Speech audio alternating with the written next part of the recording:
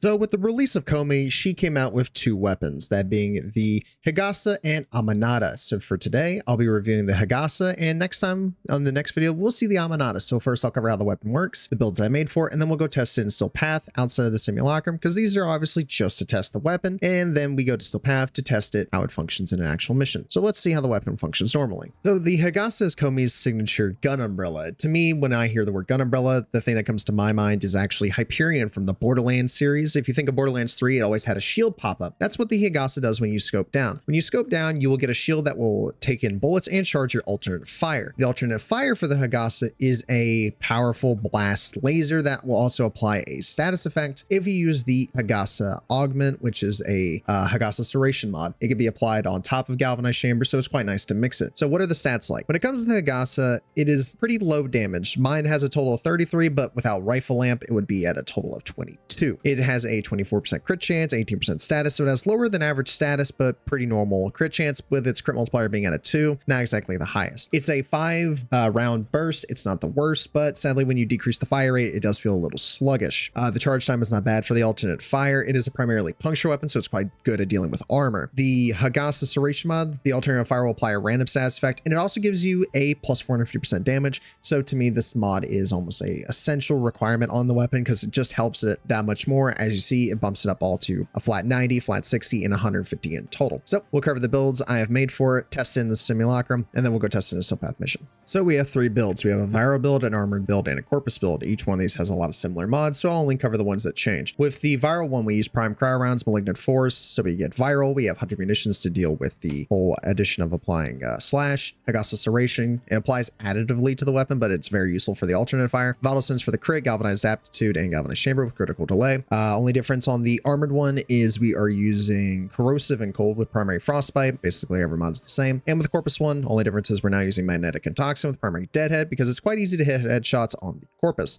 So I'll show off the builds, test them, and then go test them in Steel Path. So I don't want to take up too much of your time because I bet y'all are enjoying the video. If you guys want to see more videos like this and do appreciate my content, make sure you guys hit the like button, do subscribe, and turn on that bell for post notifications so always get notified whenever I post another video. I do enjoy making these. It's quite fun to make them. I hope you guys enjoy the content, and I'll let you guys enjoy the rest of the video. So the very first one I'll be covering is the viral build, and with the reason I'm using Koumei is because her passive applies additional effects to your weapon, so we might as well take full advantage of it because without my pet, Galvanized Aptitude really isn't getting any benefit on the weapon, so it's not showing its full potential. But the weapon by itself, as you can see, since it doesn't have any innate punch through, it has to be individual targets you aim for, and it applies a good amount of slash, and it doesn't hit that bad for not getting any bonuses for having like no additional status effects on enemies. It does quite good on killing the small enemies. And now once we have our charge, we use the alternate fire. And as you see, it applies one of like four random status effects to an enemy that we all hit, and it kills some of them or misses if you don't know how to aim like I do. So we see how this one works. Let's go show off the other ones now. All right, next up is the Corrosive Cold build. So we have the Grineer. So with the way Primary Frostbite works, since it gives more multi shot and crit damage, it does help quite a lot when dealing with a lot of these enemies. And as you see, it does hit quite hard, especially on the small ones. And if we go for the bigger ones, so stop aiming at him, doesn't take that long to kill him, especially since we are getting slash procs. But what about the whole laser? Well, does quite well since it also benefits from using primary frostbite and it, it, hits quite hard and does a lot of good damage. So let's show off the corpus build and then I will pick one of the random builds to take into a steel path mission. Next we have the toxin and uh, magnetic build. So I'm going to first show off the laser.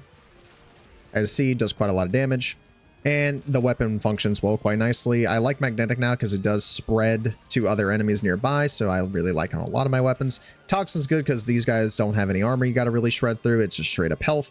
And once again, we got another laser. I just saw that.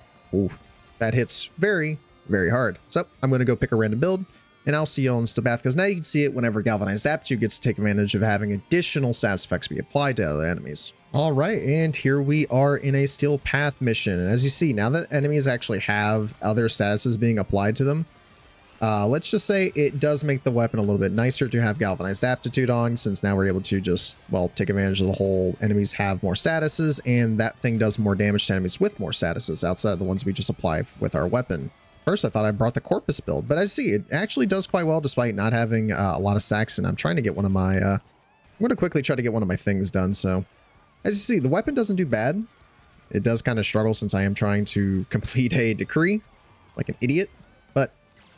The laser as you see, whew, does a lot of damage. I really do like seeing that. There we go. Now I can stop being in the air like a fool. Let me suspend everybody. There we go. Now we can see really how it does. Sadly, with no punch through, it does struggle a bit, but that's the point of the laser, since it does feel really fast thanks to the shield. Because as enemies shoot the shield, it will um, increase our umbrellas, umbrella, the charge on our um, alt fire. So as you see, does quite well, keeping me alive, especially because uh, it's blocking the damage I should be taking. And pop. It does spread uh, the statuses you do apply if you hit them in multiple lines, but these are once again the basic enemies. Ooh, stop shooting me. The basic enemies from this mission. So I will be back with y'all when a... Oh god, that lagged my game. I'll be back with y'all when a Acolyte spawns. Ooh, here we go. Nice. That was cool. All right, I'll see y'all when Acolyte spawns. All right, and the Acolyte has finally decided to show their face. Hey, one that doesn't reset their own statuses, so I should be able to take advantage of being, uh, for being, for having Galvanized Aptitude on my builds. So, how much damage does this do?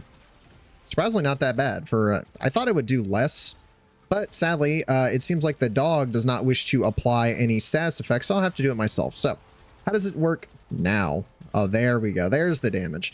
That's the biggest issue with weapons that have galvanized aptitude, in my opinion, is you kind of rely on it to do damage. But overall, it's not the worst. Oh, that went through the wall, through the wall, through the floor. So, I see, it doesn't do that bad. Kill the Acolyte quite quickly. So, I'll head back to the Orbiter and give you all my final thoughts on how this weapon uh, works, because it is an early game weapon, so most early game players will be acquiring this. What are my thoughts on the Higasa? The Higasa is not a bad weapon for it being a starter weapon for most people, as it does not have a mastery rank requirement. Same thing with Koumei and the Amanata. They are all able to be acquired really early on in the game. Sadly, one of the biggest issues I do have with it is the fact that their Higasa Serration and Amanata's uh, pressure uh, cannot be acquired until Steel Path has been unlocked. So it makes getting them a little annoying to get for other people outside of just straight up purchasing it. But overall, the weapon's not bad. It's not my cup of tea. I prefer other weapons. Like if I'm going to use a primary weapon, I'd probably still use uh, my Cerberus Prime, my Burston if I wanted to, Strun, etc., stuff like that. But people do enjoy burst weapons like this, and I think other people would enjoy it too. And again, these builds are not the best build ever. You could use uh, Bane mods to help you do more damage, change out all the mods, max them out if you want. I Hope you guys have a great rest of day. Uh, I hope this vid video was informative on how the weapon functions and a rough idea of how you can build it. And I'll see y'all in the next one. The next one's going to be Amanata. See you next week.